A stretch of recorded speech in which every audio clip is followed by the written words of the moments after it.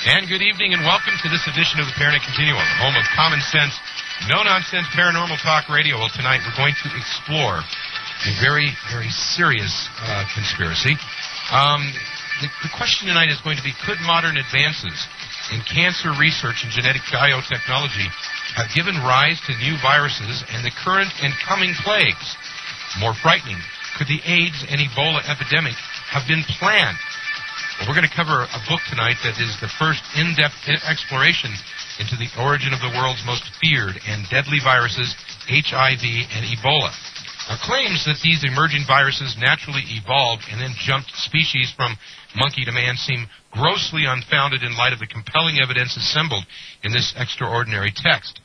Alternatively, the possibility that these bizarre germs were laboratory creations accidentally or even intentionally transmitted via tainted hepatitis, polio, and smallpox vaccines in the U.S. and Africa, as numerous authorities have alleged, is definitely investigated in this book. Now, during the Cold War in the 1960s and early 1970s, the biological weapons race was a horrifying reality. As we've covered on this program, we've uh, talked about uh, MK Ultra being one of them. Military contractors with technical support from the World Health Organization developed countless immune system ravaging viruses and experimented with antidote vaccines for natural or for national defense and cancer prevent, prevention. And uh, we're going to uh, we're going to be talking about that tonight with my guest, uh, who is a uh, medical doctor or doctor. He is uh, a Harvard graduate, independent investigator, and internationally known authority in public health education. He is one of America American healthcare's most captivating motivational speakers. He has authored 10 books, including the critically acclaimed Florida Dental AIDS Tragedy Expose, Deadly Innocence. He lives with his wife and two daughters on Cape Ann, Massachusetts. And it's a pleasure to welcome to the program tonight Dr. Leonard Horowitz. Good evening, Len. Good evening, Michael. Thank you for being with us on the program tonight. My pleasure and privilege. This book that you've written, Emerging Viruses, AIDS, and Ebola, Nature, Accident, or Intentional, is uh, a very, very uh, uh, deep, deep subject uh, and covers a lot of material. We're going to try to get as much of this in uh, on the two hours that we have tonight. Kind of outline for me a thesis of what this book is about. It is an exploration into a 1970 Department of Defense appropriations request for $10 million for a five-year study to develop immune system ravaging microorganisms for germ warfare that back in 1969 when it was written these were descriptively and functionally identical to what the AIDS virus is and does. And in essence, I spent three years, and the book covers uh, the material on what I discovered when I began an investigation into that document, following the money through a paper trail that led through the scientific literature and the government documents. Ultimately, I found the United States government contracts under which numerous AIDS-like and Ebola-like viruses were bioengineered by the Army's sixth top biological weapons contracting firm called Litton Bionetics. And so the book Emerging Viruses, AIDS, and Ebola goes into who made these types of viruses, when they made them, how they made them virtually every step of the way, why they made them, and most incredibly, we found, as I mentioned, the documents, the U.S. government documents showing you even how much U.S. taxpayers paid to finance what appears to be uh, genocide today. That's incredibly frightening, uh, very disturbing, I must say, and I'm, I'm sure for you it's been a very disturbing investigation. It's been like a roller coaster ride through the twilight zone. Okay, well, we're going to cover all of that tonight. We're going to find out, uh, you know, different aspects of your investigation. But basically, uh, let's start by asking you, how did you get interested in, invest, in, in uh, investigating the origin of AIDS and Ebola? Well, that was because in 1990 I was the chief professional advisor for the largest dental and medical catalog supply company in the world. And because of the case of the Florida dentist David Acer, who had infected his patients with the AIDS virus, because the dental industry particularly was losing millions of dollars because people were afraid they're going to get AIDS in their dental offices, mm-hmm. the CEO of the company, who didn't like losing money, assigned me to the task of developing educational literature to help allay the public's fear because my background was perfect. I had a Harvard Master's in Public Health and Behavioral Science. I had uh, done a variety of uh, research programs and produced some packages, one particularly called overcoming your fear of the dentist. So I knew intimately phobia reduction therapies and how fear was being uh, basically propelled by the media. Mhm. And I had been a dentist for 13 years. And basically, I began by in- investigating the Centers for Disease Control's official investigation reports, and I found them to be bogus. And then I found them, be, them to be fraudulent. And then after three years, I found that they had literally covered up almost all the incriminating evidence against the Florida dentist, including the fact that he believed that he was dying from a virus that the government had created.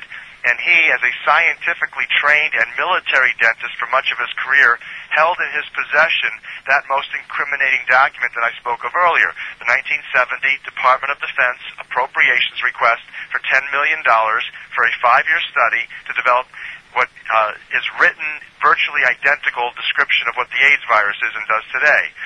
And so I began by, after I spent three years uh, publishing three scientific reports investigating that case, I published my ninth book, which was called Deadly Innocence. It was based on the three scientific reports. The last one I had to go out of the United States to get published. I went to the British Dental Journal because the American Dental Association and the American Medical Association journals refused to publish what I termed, what the paper uh, was titled, called Murder and Cover Up, could explain the Florida dental AIDS mystery. And so ultimately, I, the next three years was spent investigating that document. That's how I got started. That's very a very fascinating story. I, am I am I understanding correctly that in some ways, because of your work, have you been blacklisted, blackballed, or whatever the word would be? Yes, by the American Dental Association, by the American Academy of General Dentistry, by uh, other medical associations.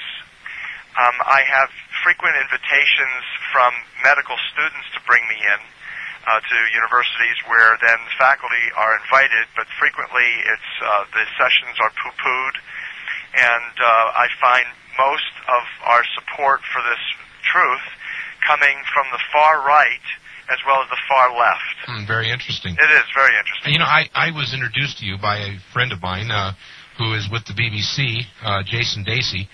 And uh, Jason told me now, Jason is very middle of the road and uh, very critical in his thinking. And after reading your book and uh, discussing it with you, um, he came away a believer. Right. So, you know, I'm, I'm taking a look at this as well from the standpoint that there that your book is packed with uh, factual documents. That's right. And uh, we're going to get into that. Now, we're going to take a break, and when we come back, we'll start delving into these documents and your investigation. We'll find out to- also, for those of you who don't know, I'm sure everyone knows what AIDS is, but um, I, I kind of like to know what Ebola is as well. I, we hear that uh, that word and strikes a, a chord of terror in some people. We'll Sure. find out what that is too as well. Our number tonight is one eight hundred eight three six two zero zero nine. One eight hundred eight three six two zero zero nine. Again, my guest is Dr. Leonard Horowitz. We're talking about his book, Emerging Viruses, AIDS and Ebola, Nature, Accident, or Intentional. I think the rest of the program is going to shock you, so stay tuned for this.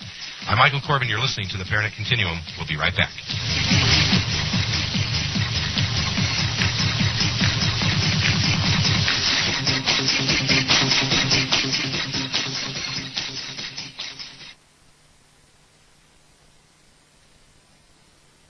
It's 1-800-836-2009, 1-800-836-2009. We'll be opening the phone lines here very shortly. I want to get uh, a little bit more ground covered with Dr. Leonard Horowitz on his book, Emerging Viruses, AIDS and Ebola, Nature, Accident, or Intentional. And uh, welcome back to the program, Len. Thank you, Michael. Before we get into uh, getting a primer on viruses and how they work, I want to I want to hit on or touch upon what is Ebola. Ebola is an ideal biological weapon. It kills nine out of ten people within three weeks of infection. It has what's called proteolytic enzymes. It's uh, enzymes that destroy the protein in the body, and so it makes your internal organs and your blood vessels dissolve Jeez. It's to mush. So you begin to bleed out of every orifice of your body, Oh. and uh, that's ultimately how nine out of ten die. Now, where do we see this uh, virus proliferating right now in the world? Well, there's small outbreaks happening uh, fairly regularly, um, and I'm I suspect them. I don't have a lot of evidence, not, not clearly not the evidence that we have in the book Emerging Viruses, AIDS, and Ebola regarding the initial outbreaks of both Ebola as well as AIDS. But uh, I don't trust the government. I have obvious, clear reasons why I don't any longer. So today's outbreaks are questionable, as uh, are clearly uh, the earliest outbreaks of Ebola, that is Ebola Sudan, Ebola Zaire, and even, even Ebola Kikwit uh, uh, a couple springs ago, uh, spring 95 actually, that is, uh, the government is highly incriminated hmm. releasing these microorganisms. Now let's, let's talk a little bit before we get into the real meat of this. What can you tell us uh, in, in layman's terms and in very brief uh, synopsis, uh, what is a virus, and how did you come about to suspect that the virus that is responsible for AIDS and Ebola are actually man-made viruses? Well, a virus is a DNA or an RNA fragment, uh, sometimes surrounded by a, a coat, a protein coat,